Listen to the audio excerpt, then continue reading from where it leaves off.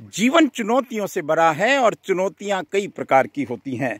यहाँ भी हम एक आज चुनौती को देख रहे हैं और चुनौती का सामना कर रहे हैं। हम सब और सिरोही के साथ पूरे राजस्थान में इस तरह की चुनौती हम देख सकते हैं। ये सिरोही का कालका जी का तालाब है, बहुत बड़ा तालाब है, जो सिरोही समेत यहाँ के आसपास के जीवों की प्यास बुझाने का काम करता था। आज से दस दिन पहले यहाँ कुछ थोड़ा बहुत पानी था। वो भी लगभग लगभग क्या बिल्कुल पूरी तरह सूख गया और चूँकि पानी तालाब का सूख गया लेकिन लोगों की आँखों में पानी आज कुछ बचा हुआ है और उसी पानी की बात हम आज यहाँ कर रहे हैं। सिरोही के इस सिरणवाकी पहाड़ी के बहुत सारे जानवर, जंगली जानवर क्योंकि पहाड़ में पानी की कोई अभी संभावना नहीं है, कोई कल्पना नहीं कर सकते तो ये पूरी जंगली जानवर और यहाँ के मवेशी आदि इस तालाब और इस तरह की कुछ नाड़ियों में आके अपनी प्यास बुझाने आते थे। मैं यहाँ ये बताना चाह रहा हूँ कि मनुष्य को ये सामर्थ्य दिया है। मनुष्य को ये सामर्थ्य दिया है कि इस तरह की चुनौतियों का वो सामना कर सके।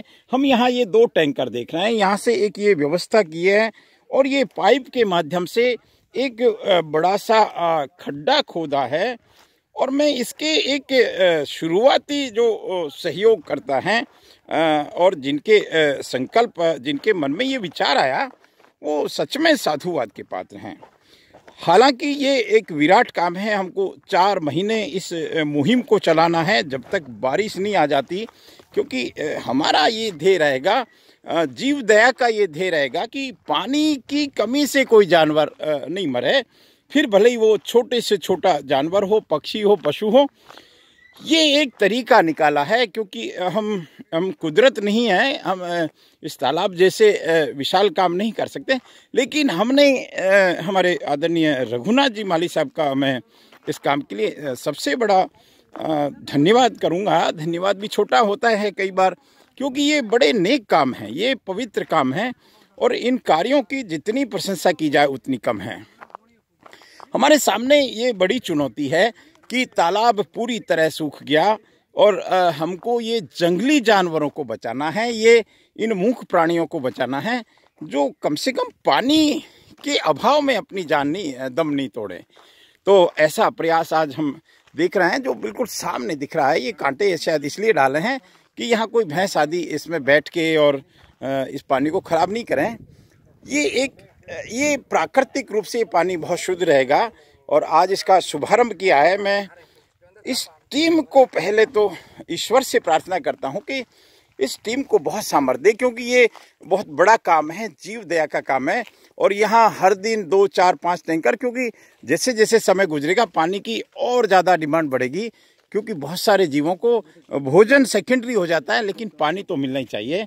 हमारे इस पूरे इस प्रोग्राम के जिसको कहते हैं आधार स्तंभ हमारे श्री रघुनाथ जी भाई साहब को तो मैं कोटि कोटि धन्यवाद करता हूँ, क्योंकि जो शुरुआती जो सहयोग होता है, वो बहुत मायने रखता है। और सहयोग आप आगे भी लोगों से लेके आएँगे प्रकाश जी और और और हमारे बिल्कुल जिसको कैप्टन साहब कहेंगे, टोपी के साथ में बड़े सुंदर दिख रहे हैं, इनको तो मैं और आपकी बिल्कुल तमाम इस इस लुक को मैं धन्यवाद। नमन है भाई साहब। तो खैर, आज का आनंद ये है भाई साहब अब आप इस बारे में बताएँ। ये थोड़ा ये ये अकाल की स्थिति को देखते हुए जी जी जी। और आज दिन तक कालका जी तालाब का पानी कभी खत्म नहीं होता था। हाँ। लेकिन अब के जो ऐसी स्थिति जो बनी है उसको मद्देनजर रखते हुए हमारे गौशाला में हमेशा ही सेवा देने वाले प्रकाश जी मिठालाल जी हम्म, हम्म, हम्म, दीपक जी और जितने भी हमारे मेंबर्स हैं जितने जितने ये जितने। सब डेली जाते थे और उनको ऐसा लगा कि यार एक यहाँ पर पशुओं के लिए एक नाड़ी टाइप हो उसमें छोटा छोटा बिल्कुल डाले जाए। जी जी जी। और सिरोही के सभी अच्छे लोग हाँ, यानी हाँ, जो भी सेवा देने वाले हैं हाँ, उनसे संपर्क करेंगे। जी जी जैसे हीरा भाई को हमने बात की आनंद जी को बात की तुरंत ही। है यहाँ आगे आगे आगे आने था। इसमें छोगाराम जी है जिन्होंने बहुत बड़ा सहयोग किया मैं इस गौ माता को देख लूँ, साहब। ये ये ये ठीक है, भैंस का एक स्वभाव होता है और इसलिए ये कांटे डाले हैं। लेकिन ये प्राकृतिक रूप से शुद्ध पानी और ये इनको पानी तो चाहिए और ये पानी हम पिलाते रहेंगे। क्योंकि कुदरत की टेढ़ी नज़र से इस तालाब का पानी सूखा है, भले ही पर लोगों की आँखों में पानी हम देख रहे हैं और उसी के बदौलत ये ये एक बहुत बड़ा प्रयास किया है। इसी से जुड़ा हुआ प्रयास है कि वीर वापसी नाड़ी का भी मैं कई बार जब देखता हूँ तो मैं गदगद हो जाता हूँ कि वो लगातार उस नाड़ी को भी भरते हैं। इस काम को तो सच में बहुत बहुत धन्यवाद। क्योंकि दस दिन पहले जब मेयर प्रकाश जी यहाँ आए थे, हमने देखा कि पानी खत्म हो जाएगा तो क्या होगा?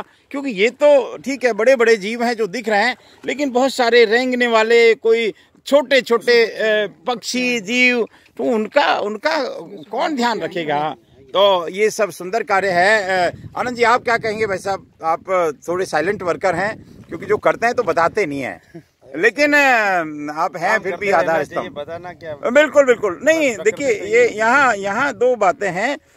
यहाँ बताने का तात्पर्य इतना सा है कि बहुत सारे लोगों को जोड़ना है हमको। हाँ, और ये सारा पुण्य भी बटता रहे। नहीं तो ये खैर कोई इतना मुश्किल काम नहीं है। अकेले रघुनाथ जी कर सकते हैं पर आपका जो जो सद्भावना और वो रूप है कि बहुत सारे लोग इस काम में जुड़े। तो ये ये देखिए। देखिए ये ये ये जल ही जीवन है और कोई बात नहीं ये भैंस का ये स्वभाव होता है। और प्रकाश जी आप क्या कहेंगे? क्योंकि आपने मैंने देखा उस दिन बहुत दुखी हो रहे थे कि अब क्या होगा पशु पक्षियों का। तो लगता है आपका दुख थोड़ा हल्का हुआ है? हल्का हुआ है। वाह वाह वाह और तमाम हमारे श्री छोगा जी भाई साहब। वाले सब कहते हैं कि जो आप करो जो सही है हाँ। बिल्कुल बिल्कुल। आप सब अपने आपके चेहरे की मुस्कान और आपके बड़े बड़े मिठाई के डब्बे बता रहे हैं। सेवा के लिए एजी टाइम तैयार रहते हैं। बिल्कुल बिल्कुल और आप हमारे साथ में आए थे तो इस तालाब में थोड़ा सा पानी पड़ा था उस नाड़े में। Hundred percent. उसके बाद ये विचार आया और प्रकाश जी ने हम बाज़ार वालों ने और रघुपति जी भाई साहब से बात करके ये प्रक्रिया चालू की है। और इसमें हम रेगुलर टैंकर डालते रहेंगे।